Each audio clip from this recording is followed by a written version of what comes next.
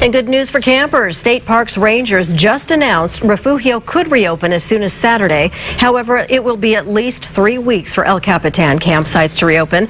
As the Sherpa fire burns, campers are having to set up tents somewhere else. Sean Larson joins us live at Cachuma Lake. And Sean, you found out that this wasn't necessarily the number one option for campers.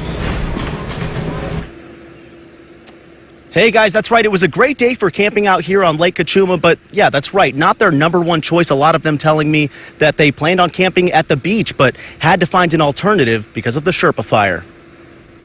Oh, yeah, we're super disappointed. We were looking forward to camping on the beach for the first time.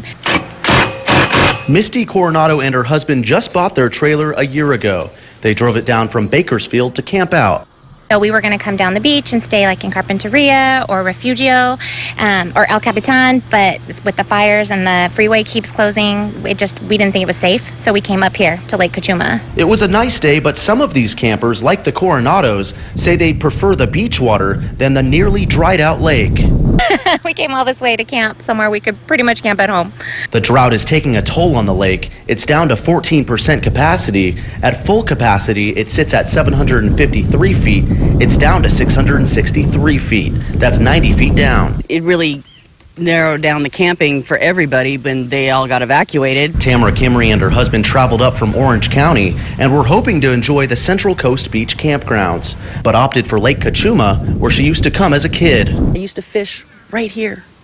That's the other scary thing about the fires is we already don't have any resources. It's the season though. Unfortunately in California we deal with this every summer, but it's so bad that it's so close to the beach. That's that really is too bad.